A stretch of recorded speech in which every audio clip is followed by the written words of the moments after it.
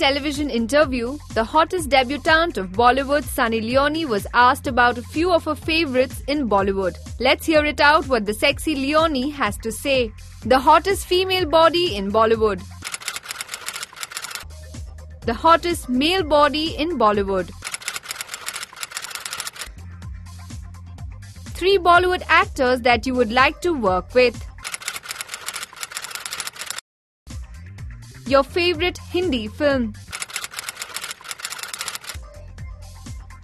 Sunny Leone, who has been mostly kept under wraps until her movie releases, has already become a nationwide craze with just her looks. And this question and answer round will definitely prove a treat to all the Sunny Leone fans. This is Kripalini Kalita for Rajshri.com.